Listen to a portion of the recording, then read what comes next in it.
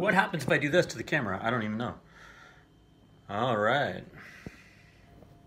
That just went wonky wonky. And I want to make mistakes and I want to just do it. Just dive into doing whatever it is I want to be doing. Uh, and and one thing that I, you know, did successfully was recover from a bad back injury uh, years ago.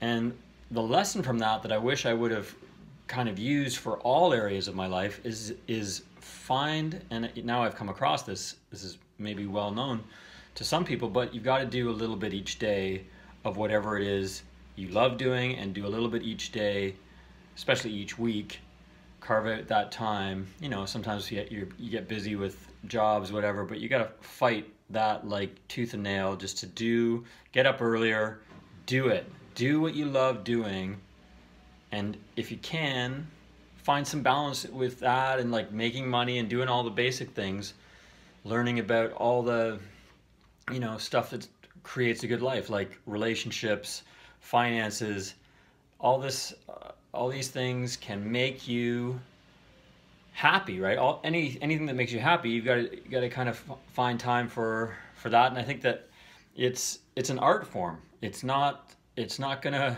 and and and part of the art of that is effort and then chilling out and patience. And i think we actually overemphasize in our society the go go go work work work. It's more about artfully i think more about artfully doing it each day and being consistent in the long run right? It's going to pay pay off in the long run if you're constantly learning about money or you're constantly learning about your career, whatever your chosen career is, or if you want to turn your hobby into into something uh, that you do all the time, then for the most part, if you do it each day, I mean, I chose something super difficult that I and I happen to love something that's super difficult. I wasn't quite in the right place and didn't know people, and so I've had some bad luck, and that, that there's no doubt about it in my mind. Luck is a factor. Some people like to deny that, talk about you know it doesn't matter. Well, luck's a factor. That's just the way it is.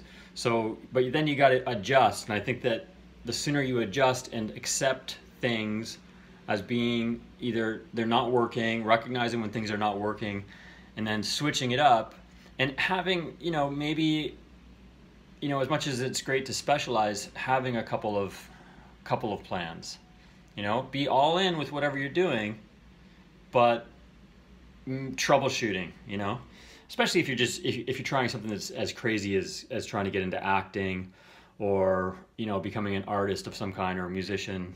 Those creative things you know there's so many people trying to do it that you have to get super creative about how you get your foot in the door or you have to know somebody. You know that's just reality right so there's a few ideas and uh, I'm going to keep doing these videos um,